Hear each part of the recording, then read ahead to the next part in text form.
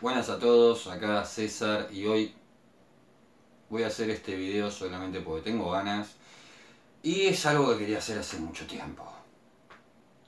Top 5 de las mentiras y fantasmeadas de la supervivencia.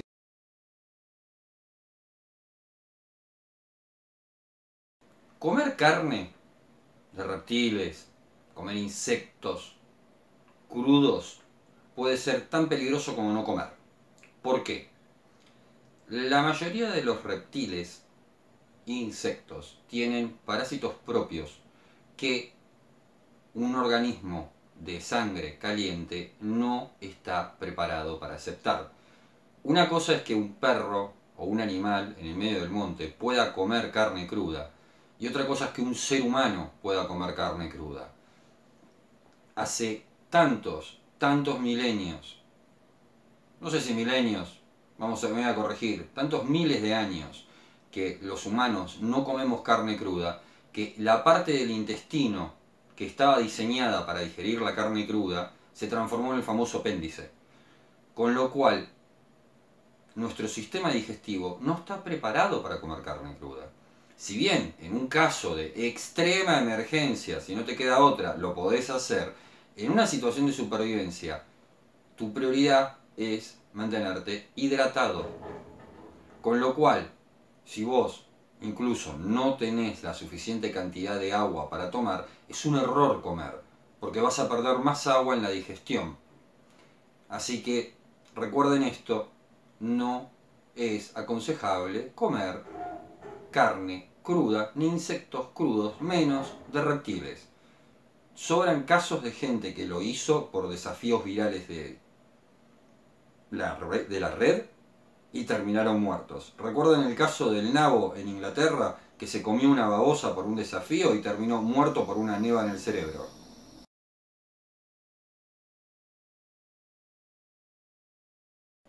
Este es mi favorito. Gente que no sale de atrás del escritorio. Yo sé que hay mucha gente en YouTube que se sabe vender muy bien y la verdad los felicito. Pero cuando hablamos de la vida humana y ustedes ven a una persona que en su vida y en todos sus videos no sale de atrás del escritorio y no les demuestra algo de todo lo que habla, es lo que llamamos en Argentina un fantasma o como dijo un grosso de España, un preper o superviviente de los cojones. Así que si ustedes ven que alguien no sale de atrás del escritorio y no les demuestra lo que dice saber, por más que tenga escrito 20 libros y se ve toda la chapa que tenga, que quiera tener, no existe.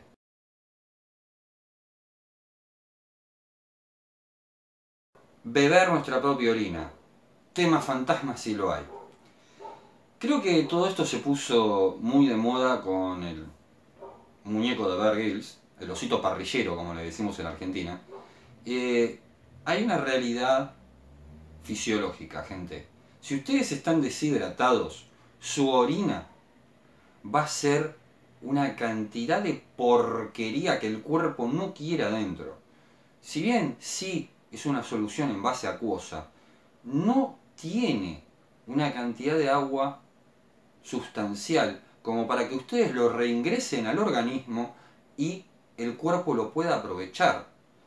Y no quiero escuchar a nadie hacer un comentario de el borde de el confort psicológico de que estoy tomando algo. Es lo peor que pueden hacer. Incluso les puede hacer vomitar y es peor porque van a perder todos los fluidos que tienen en el estómago. Así que beber su propia orina es lo peor que pueden hacer. Así que no se los aconsejo. Otro tema es que ustedes usen su propia orina. Y acá les voy a hacer un 2 por 1 Seguramente muchos escucharon la famosa frase de el algodón mata. Eh, lo he escuchado decir tantas veces, tantas veces y que supuestos expertos lo repiten como loritos, como el tema del paracord. Si bien sí, el algodón tiene la virtud de que va a hacer que nuestro cuerpo se enfríe Si estamos en un clima frío y estamos transpirados, obvio está, no nos sirve. Pero si estamos en un clima cálido y necesitamos termorregular nuestro cuerpo, una remera de algodón es lo ideal porque va a favorecer que se mantenga mojada y eso va a regular por transpiración nuestra, perdón, mejor dicho, por evaporación, va a, va a regular nuestra temperatura corporal, así como funciona un aire acondicionado. Se aplica el mismo principio físico. Así que si le quieren dar un uso a su orina y van a soportar el olor, orinen la ropa, orinen el yemag y con eso van a poder termorregular su cuerpo. Pero beber la orina es un grave error.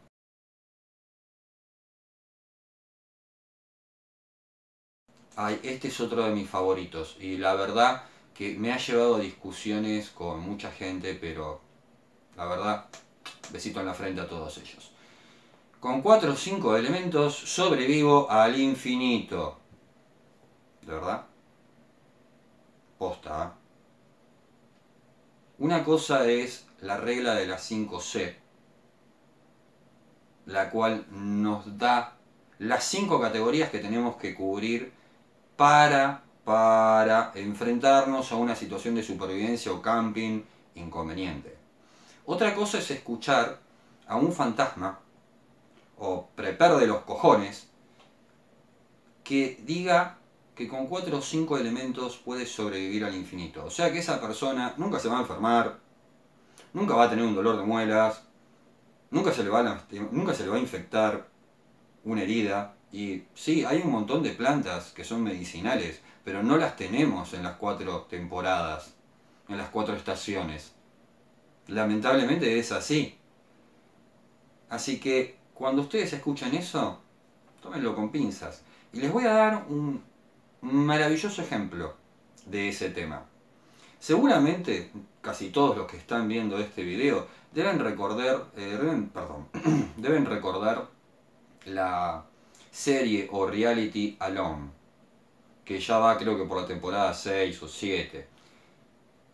A esa gente le dejan llevar 10 elementos, aparte de algunas cosas que le da la producción de ese programa. Después de la temporada 1, les empezaron, dejar, les empezaron a dejar llevar cepillo de dientes. Porque la mayoría terminaba con los dientes hechos pedazos. Por el simple hecho de no poder higienizarlos. ¿Y saben por qué? Porque se te terminan infectando las encías con gingivitis, se te retraen y la parte de abajo del diente no está preparada para soportar la corrosión de la saliva y de los alimentos. Con lo cual te termina cariando la muela de codiente de costado y se te pudre en 15-20 días. Calculen también que eh, en Alon creo que lo máximo que han llegado eh, algunos participantes son 100 días. Si 100 días es el infinito, Dios me libre. Y calculen que esa gente la terminan sacando con 10, 15 kilos de menos de lo que empezaron el desafío. Así que el infinito es un verso. Y una notita al pie. Fíjense que la mayoría de esa gente cuando le dice yo con esta hacha hice refugio, yo quiero que me expliquen cómo cuerno hacen para hacer cortes a 90 grados en las maderas que usan para hacer sus refugios con un hacha. Vamos gente, usen la visión crítica, eso está hecho con motosierra, ni siquiera con sierra manual, porque si no la corteza se rompe motosierra. Usen la mirada crítica.